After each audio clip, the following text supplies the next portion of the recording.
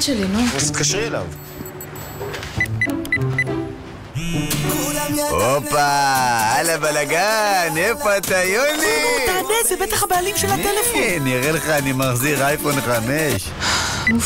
אבל יש שם המון דברים אישיים. צודק, בטח יש תמונות מתאילנד.